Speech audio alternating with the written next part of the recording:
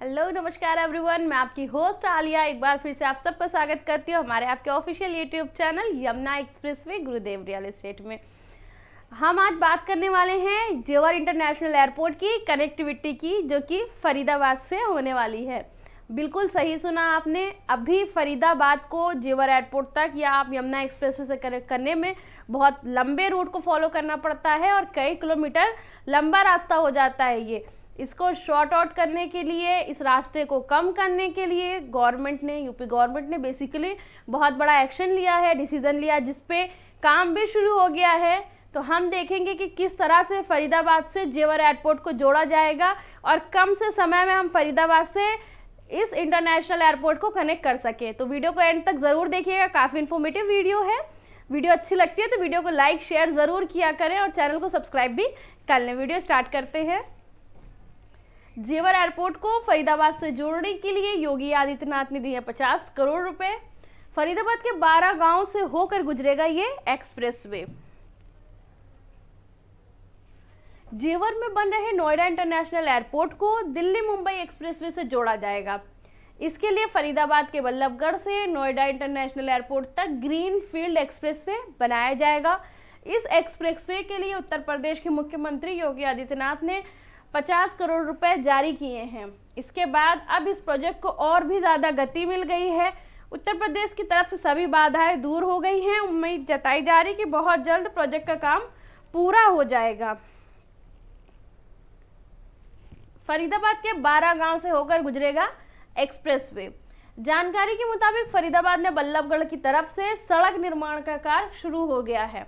फरीदाबाद के सेक्टर पैंसठ से नोएडा इंटरनेशनल एयरपोर्ट तक सिक्स लाइन एक्सप्रेसवे का निर्माण किया जाएगा यह एक्सप्रेसवे नोएडा इंटरनेशनल एयरपोर्ट को दिल्ली मुंबई एक्सप्रेसवे से जोड़ेगा यह expressway Delhi Mumbai link road से होते हुए केजीपी एक्सप्रेसवे और यमुना एक्सप्रेसवे होते हुए पहुंचेगा। इस पूरे प्रोजेक्ट में फरीदाबाद के 12 गाँव शामिल हैं, या फरीदाबाद के 12 गाँव से होकर गुजरेगा। इसके लिए पहले ही ज़मीन का अधिग्रहण हो चुका है, यानी कि ज़मीन पहले ही इस एक्सप्रेसवे के लिए एक्वायर हो चुकी है। फरीदाबाद के 12 गाँव इसमें शामिल हैं। एक्वायरमेंट हो चुका है। काम भी इसमें शुरू हो चुका है। यूपी के तरफ़ से, उत्तर प्रदेश की तरफ़ से भी अब इसमें कोई बाधाएँ नहीं है, उसको भी क्लियर कर दिया गया है तो बहुत जल्द ये प्रोजेक्ट कंप्लीट हो जाएगा। बल्लभगढ़ से जेवर एयरपोर्ट तक लगभग पंद्रह मिनट में सफ़र तय। फरीदाबाद और बल्लभगढ़ के लोगों को अभी जेवर तक आने के लिए करीब 90 किलोमीटर का सफ़र तय करना पड़ता है। लेकिन इस ग्रीन एक्सप्रेसवे के बनने के बाद इसकी दूरी सिमट जाएगी। फिर केवल 31 किलोमीटर का सफ़र तय करना होगा। गाड़ी के माध्यम से बल्लभगढ़ से जेवर एयरपोर्ट तक लगभग 15 मिनट में सफ़र तय कर सकते हैं। इसके अलावा औद्योगिक नगरी के लोगों को विभिन्न शहरों में जाने के लिए अच्छी सहूलियत मिलेगी। फरीदाबाद से इंदिरा गांधी इंटरनेशनल एयरपोर्ट की दूरी 35 किलोमीटर है। परंतु जाम लगने के कारण डेढ़ से दो घंटे लग जाते हैं। नई कनेक्टिविटी बनने के बाद लोगों को सहूलियत मिलेगी। बड़ा मतलब एक तरह से लोगों के लिए रिलैक्सेशन हो जाएगा जब नई कनेक्टिविटी मिलेगी लोगों को। सात किलोमीटर उत्तर प्रदेश और 24 किलोमीटर का क्षेत्रफल हरियाणा में आएगा। योगी सरकार ने नोएडा इंटरनेशनल एयरपोर्ट से बल्लभगढ़ तक बनने वाली इस ग्रीन फ़ील्ड एक्सप्रेसवे के लिए बजट जारी कर दिया है। जानकारी के मुताबिक बल्लभगढ़ से लेकर जेवर एयरपोर्ट तक इस एक्सप्रेसवे की लंबाई इकतीस दशमलव चार किलोमीटर होगी या सिक्स लाइन का एक्सप्रेसवे होगा। इस एक्सप्रेसवे का सात किलोमीटर का दायरा उत्तर प्रदेश और चौबीस किलोमीटर का दायरा हरियाणा में आएगा। जानकारी के मुताबिक गौतम बुद्ध नगर के दयानतपुर वल्लभ नगर करौली बांगर, फरीदा बांगर, अमरपुर इस प्रोजेक्ट से प्रभावित गाँव हैं। वहीं हरियाणा के झुप्पा फलेदा खादर, बहापुर, कला, छैसा, मोहियापुर, मोहना, हीरापुर, महमदपुर, नरहावली, पन्हेरा खुर्द, फफुंडा बाहभलपुर सोताई, चनावली और शाहपुरा इस प्रोजेक्ट से प्रभावित गाँव है। ये सारे गाँव के मैंने नाम लिए हैं, जो अभी आप सुन रहे हैं हो सकता हो इसमें आप लोगों का भी कोई गाँव हो जो ये वीडियो देख रहे हैं।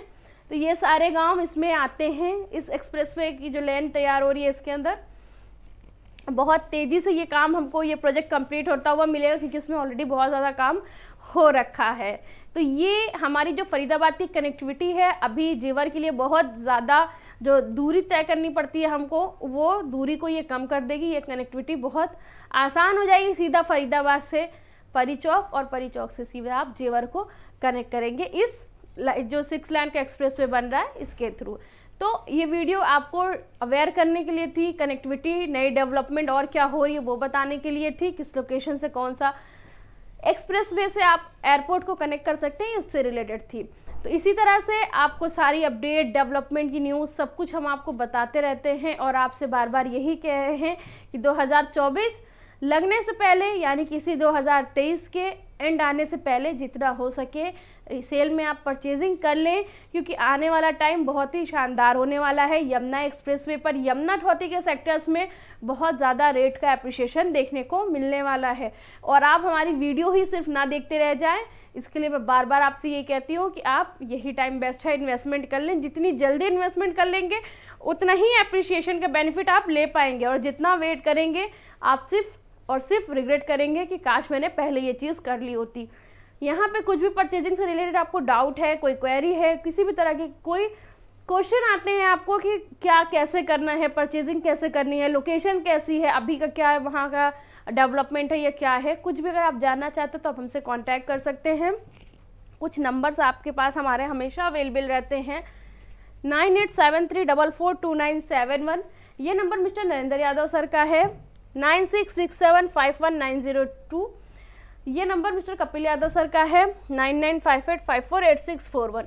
ये नंबर मेरा है, आप इन तीनों नंबर पे कभी भी कॉल कर सकते हैं, जो भी डाउट हो, जो भी क्वेश्चन है, आप हमसे डिस्कस कर सकते हैं। साथ ही हमारा ऑफ़िस एड्रेस है A C fourteen P Ansal golf link one adjoining Yamuna expressway authority. Greater Noida बिल्कुल यथार्थ हॉस्पिटल के साथ अर्ज्वाइनिंग यमुना अथॉरिटी के साथ अर्ज्वाइनिंग में हमारा ऑफ़िस है। कभी भी आप हमारे ऑफ़िस आ सकते हैं।